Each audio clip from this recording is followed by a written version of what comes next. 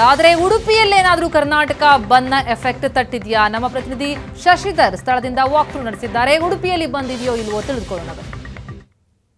ಸರೋಜಿನಿ ಮಹಿಷಿ ವರದಿ ಜಾರಿಗೆ ಒತ್ತಾಯಿಸಿ ವಿವಿಧ ಕನ್ನಡಪರ ಸಂಘಟನೆಗಳು ಇವತ್ತೇನು ಕರ್ನಾಟಕ ಬಂದ್ಗೆ ಕರೆ ನೀಡಿದೆ, ಈ ಕರ್ನಾಟಕ ಬಂದ್ಗೆ ಉಡುಪಿ ಜಿಲ್ಲೆಯಲ್ಲಿ ಸದ್ಯ ಯಾವುದೇ ಪ್ರತಿಕ್ರಿಯೆ ವ್ಯಕ್ತ ಆಗಿಲ್ಲ. ನಾನು ಉಡುಪಿಯ ಒಂದು ಕೇಂದ್ರ ಸ್ಥಾನ ಆಗಿರುವಂಥ ಖಾಸಗಿ ಬಸ್ ನಿಲ್ದಾಣದ ಪರಿಸರದಲ್ಲಿ ಬಂದು ನಿಂತಿದ್ದೇನೆ. ನೀವಿಲ್ಲಿ ಗಮನಿಸಬಹುದು, ಇದು ಸರ್ವಿಸ್ ಬಸ್ ನಿಲ್ದಾಣ. ಉಡುಪಿ ಜಿಲ್ಲಾ ಕೇಂದ್ರವನ್ನು ವಿವಿಧ ಜಿಲ್ಲೆಗಳ ಜೊತೆ ಸಂಪರ್ಕಿಸುವಂಥ ಒಂದು ಪ್ರಮುಖ ಬಸ್ ಸ್ಟ್ಯಾಂಡ್. ಬೆಳಗಿನಿಂದಲೇ ಎಲ್ಲ ಖಾಸಗಿ ಬಸ್ಸುಗಳು ಕೂಡ ಎಂದಿನಂತೆ ಕಾರ್ಯಾಚರಿಸ್ತಾ ಇವೆ.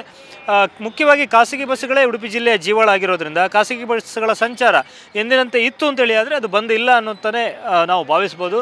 ಸೊ ಯಾವುದೇ ಸಂಘಟನೆಗಳು, ಬಹಳ ಮುಖ್ಯವಾಗಿ ಯಾವುದೇ ಸಂಘಟನೆಗಳು ಕೂಡ ಒಂದು ಬಂದ್ಗೆ ನೇರವಾಗಿ ಯಾ, ಯಾರ ಬೆಂಬಲವನ್ನು ಕೂಡ ಕೋರಿಲ್ಲ.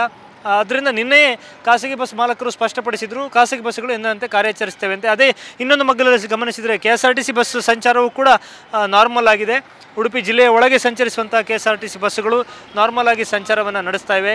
ಅವುಗಳು ಕೂಡ ಬಂದ್ಗೆ ಯಾವುದೇ ಬೆಂಬಲವನ್ನು ವ್ಯಕ್ತಪಡಿಸಿಲ್ಲ. ರಿಕ್ಷಾ ಸಂಚಾರ ಸಹಜವಾಗಿಯೇ ಇದೆ. ರಿಕ್ಷಾ ಸಂಚಾರ ಬೆಳಗಿನಿಂದಲೇ ಸಹಜವಾಗಿಯೇ ಇದೆ. ಸಾಕಷ್ಟು ಪ್ರಯಾಣಿಕರು ರಿಕ್ಷಾವನ್ನು ಇಲ್ಲಿ ಅವಲಂಬಿಸೋದ್ರಿಂದ ನಗರದ ವಿವಿಧ ಭಾಗಗಳಲ್ಲಿ ಸಂಚಾರ ಮಾಡೋದಕ್ಕೆ ಅದರ ಸಂಚಾರಗಳು ಕೂಡ ಎಂದಿನಂತೆ ಸಾಮಾನ್ಯವಾಗಿ ಇದೆ.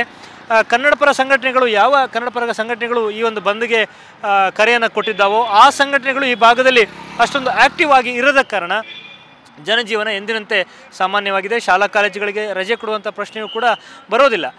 ಮತ್ತು ಆ, ಸಂ ಸಂಬಂಧಪಟ್ಟ ಸಂಘಟನೆ ಈ ಭಾಗದಲ್ಲಿ ಹೆಚ್ಚು ಆ್ಯಕ್ಟಿವ್ ಇರದ ಕಾರಣ ಕನಿಷ್ಠ ಒಂದು ಪ್ರತಿಭಟನೆಗೂ ಕೂಡ ಯಾವುದೇ ರಿಕ್ವೆಸ್ಟನ್ನು ಅವರು ಮಾಡಿಲ್ಲ. ಆದ್ದರಿಂದ ಜನಜೀವನ ಎಂದಿನಂತೆ ಸಾಮಾನ್ಯವಾಗಿರುವುದನ್ನು ನಾವು ಗಮನಿಸಬಹುದು. ಅಂಗಡಿ ಮುಂಗಟ್ಟುಗಳು ಕೂಡ ಒಂದೊಂದಾಗಿ ತೆರಿತಾ ಇವೆ.